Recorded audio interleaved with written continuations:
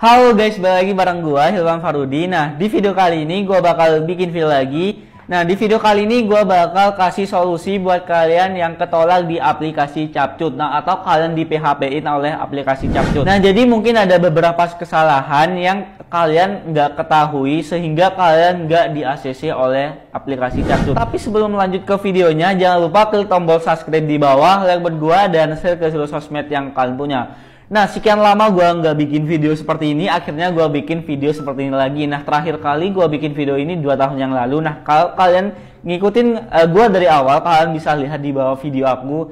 Nah, itu aku uh, bikin videonya pakai face to face. Nah, dan akhirnya gue bakal bikin video face to face lagi. Di channel ini banyak banget seputar yang lagi viral di TikTok. Nah, jadi kalian bisa langsung aja subscribe di bawah. Sebelum kita lanjut ke solusi agar kalian keterima di aplikasi Capcut. Nah, di sini aku bakal uh, uh, menjelaskan beberapa kesalahan yang mungkin kalian nggak ketahui nih. Kenapa kok aku nggak di nggak diterima di aplikasi Capcut? Kenapa aku di PHP oleh aplikasi Capcut?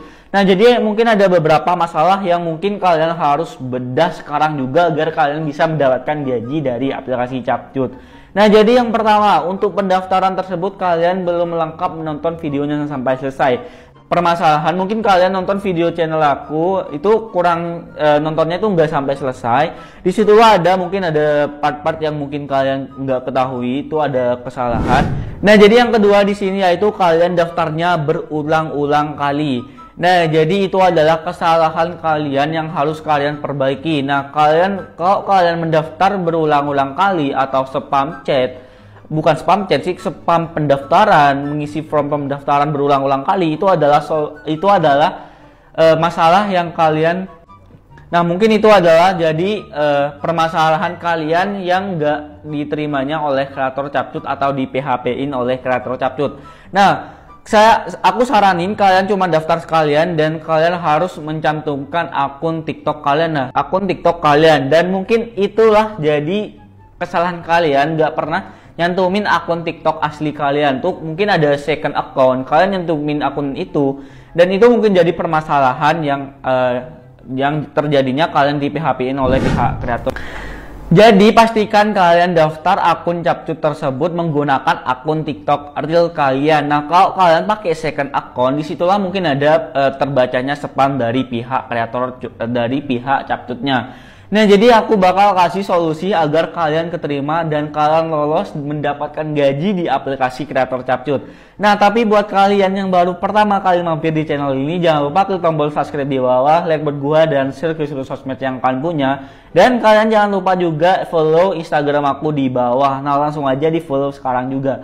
Dan mungkin aku bakal kasih solusi buat kalian nih yang keterima yang udah di PHP yang udah lama banget dari aplikasi capcutnya itu udah di PHP-in. Nah, jadi aku bakal kasih solusinya. Nah, jadi yang per Oke, jadi kita langsung aja. Jadi yang pertama di sini yaitu kalian tonton YouTube tonton tutorial daftar jadi kreator TikTok di channel ini. Nah, jadi aku udah pernah bikin tutorial cara daftar kreator di aplikasi uh, Cap Capcut. Di situ kalian harus tonton videonya sampai selesai.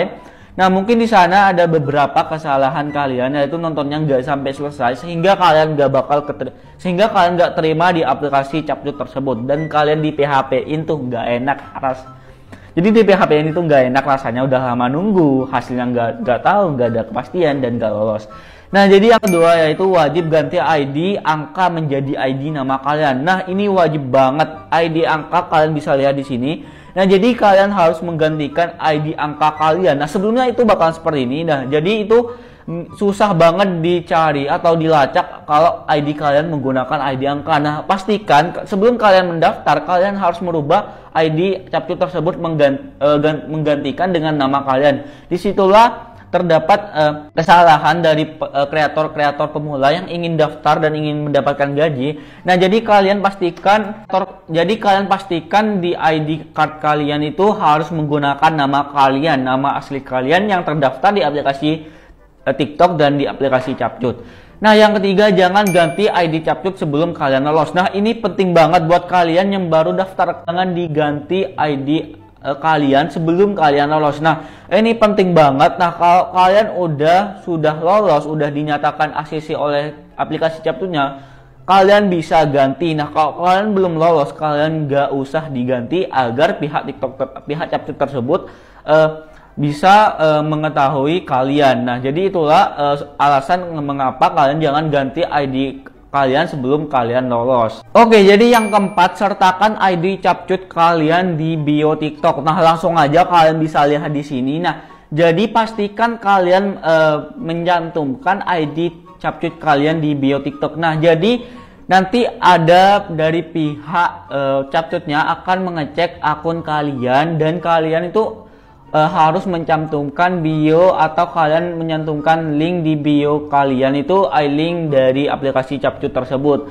Nah, jadi itu adalah uh, penambahan nilai agar kalian bisa lolos di aplikasi capcut.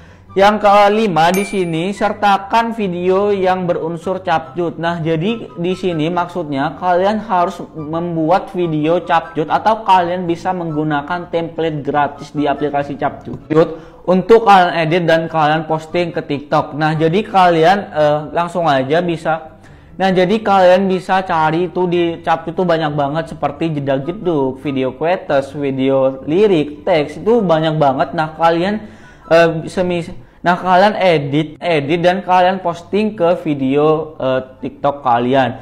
Nah, pastikan video yang kalian edit itu adalah video yang jelas, video yang uh, mungkin bagus dan videonya itu nggak bu nggak terlalu buram sih. Itu adalah jadi uh, penilaian post dari aplikasi Capcut tersebut untuk meloloskan kalian ke uh, menjadi kreator Capcut. Nah, yang keenam di sini jangan privat akun TikTok kalian dan jangan hapus video peninjauan. Nah, jadi kalau kalian memprivat, akun kalian, otomatis pihak dari kreator capcutnya itu bakal terdapat kesulitan, kesulitan yang akan membuat kalian tuh di PHP-in diterima atau enggak. Di situ adalah kesalahan yang mungkin kalian uh, yang mungkin kalian ketah, belum ketahui mem memprivat akun TikTok kalian itu bakal jadi permasalahan bagi yang mau daftar kreator capcut.